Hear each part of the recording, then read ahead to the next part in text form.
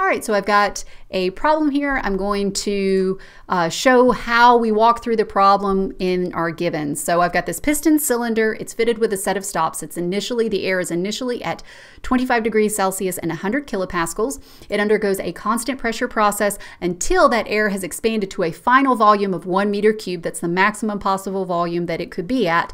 But then it's further heated to 80 degrees Celsius um, still at a volume of one meter cubed because those stops prevent any further expansion from occurring. So if I look at A, B, C, D, E, and F, well, clearly it state uh, clearly the, the temperature of the air when the piston head hits the stops, that's at state two. The final pressure is at state three. The process from two to three is the constant pressure process. The process from two to three is the constant volume process. It tells me I can assume that air behaves as an ideal gas, but I can verify that that was a good assumption. Or if I was asked to do so on a test, I could do that using my reduced temperature. If the reduced temperature is greater than two, or the reduced pressure is less than 0.1, or the Z value is, uh, is greater than 0.9, I can assume it's an ideal gas in this class. And clearly, the reduced temperature that I calculate is greater than 2. And that's very convenient because I can tell from state 1 to state 3 that temperature is just going to keep going up. So since the reduced temperature at 1 is greater than 2, then the reduced temperature at 2 and 3 are also going to be greater than 2. So it's an ideal gas at all three states. Since it's an ideal gas, I might as well use the ideal gas law to find T2. I plug and chug, and I get a 348.43 Kelvin. Then I can do the same thing for the pressure at 3. Apply my ideal gas law at 3, plug and chug. I've got all those variables, and I calculate my answer in kilopascals. For part C, I'm asked to find the heat transfer, and so I'm going to apply my first law for a closed system between states 1 and states 2. Got Q minus W equals delta U plus delta kinetic energy plus delta potential energy, all in units of energy, not energy per unit mass. My kinetic energy and potential energy terms I can go ahead and assume are equal to zero. And so I've got Q minus W equals delta big U, and I might want to put that in terms of M delta little u. And that W can be, well, that's my boundary work, right? I have no other work that's being going that's going on except expansion work from one to two.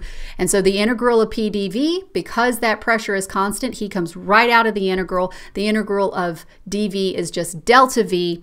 And of course, all of this I could put that in terms of specific volume, and of course all of this is equal to m delta little u. Now what I'm going to do is I'm going to put the delta u and the p delta v together because that's the definition of enthalpy. And that's really convenient because all I have to do is look in those ideal air tables and pull out those H1 and those H2 values. It does require a little bit of interpolation, but not too bad. And then it's just a plug and chug, and I've got my Q from 1 to 2. Now, of course, for part D, I had already derived the equation for the work and I just need to plug and chug. I'm not going to put it in terms of specific volume. I'm going to leave it in volume uh, because I've got V1 and well, let's see, I don't have V1, but I do have V2, and I can I can derive an equation for V1 by just applying my first law, which is what I'm going to do here. And if I just plug and chug, I get a work of 14.474 kilojoules. Now I'm on to part E, which requires me to find the work for the constant volume process. And well, because there's no volume change, there's no boundary work, and there's no other type of work going on, so my work is equal to zero. And then for part F, I need to find the heat transfer from 2 to 3. I don't have any work. I don't have any kinetic and potential energy changes. They're assumed to be 0. And so now I've got my delta big U equals m delta little u. And all I need to do is look up the U3 and the U2 values at T2 and T3. Once again, it does require a little bit of interpolation. Oh, and those should be U values, not H. It should say should say U, not H. Um, but those are my those are my values for my U values. So once again, in that table, it should say U, um, it, it, but it just take it that it is U. Um, and I plug and chug, and I get uh, I get my Q value from one uh, from two to three. Sorry about that. All right. Well, I hope that was helpful. Thank you for watching, and let me know if you have any questions.